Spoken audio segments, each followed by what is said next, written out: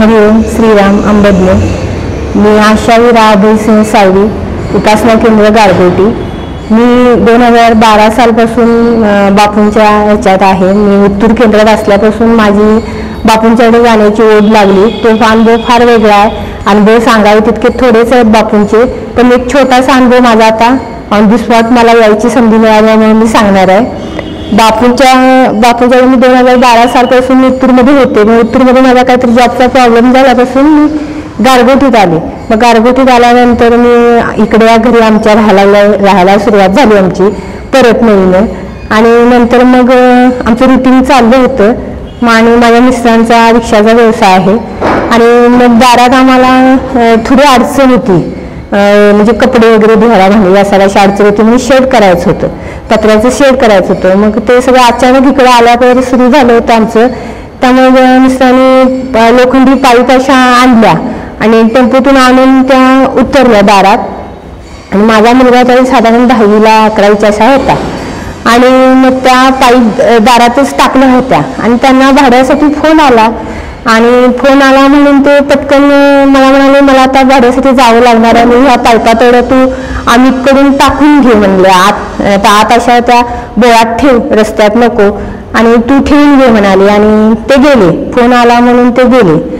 मग मी इकडे तिकडे बघितलं तर कोणी मत्तीला नव्हतं. त्यामुळे मग अमितला म्हणलं तू आणि मी ठेवूया चल आम्ही. आणि बोळात ठेवूया बाबा पाईप इथंच टाकून गेलेत म्हणलं दारात. तो म्हणला ठीक आहे. आणि आला. आणि आला आणि त्या म्हणजे पायपाशा अशा मोठ्या होत्या लांबीला खूप होत्या. आणि आमच्या दारात स- दारात समोरूनच लाईटची मेन लाईन गेलेली आहे. मग ती लाईन अशी वर होती वर गेलेली आहे. आणि त्याच्या लक्षात आलं नाही माझ्या पण लक्षात आलं नाही. त्याने काय केलं ती पाईप उचलली. दा रस्त्यावर तर कुणी नव्हतं. ती पाईप उचलली आणि त्याने पूर्ण अशी वर केली. आणि त्या पाईप तो रॉड लोखंडी रॉड होता ना तो असा लांबीला भरपूर मोठा होता. आणि ती पाईप उचलली आणि क्षणात ती वर त्या लाईनला टच होणार तर पण अचानकच गाडीवरून माझे तिकडून एक चुलत आले. आम्ही काय करतो असं म्हणून मोठ्याने ओरडली. ओरडल्याबरोबर त्याच्या हातातून पाईप ती कशी काय निसटली काहीच कळलं नाही. क्षणात असं इतकं झालं पण तीच त्यावेळी जर पाईप जर ती लाईनला जर टच झाली असती त्याच्यात ते लोखंडी पाईप त्याच्या हातात. तर तो प्रसंग काय सांगण्यासारखाच नव्हता.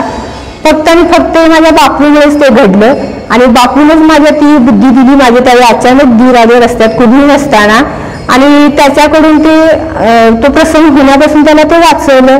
म्हणजे माझ्या अमितवर जे संकट येणार होतं ते बापूंनी थांबवलं. असे अनेक बापूंचे अनुभव आहेत. सांगावे तितके थोडे आहेत. पण माझा एक छोटासा अनुभव मी आता सांगितला. श्रीराम आंबेडकर नाचंग बापू.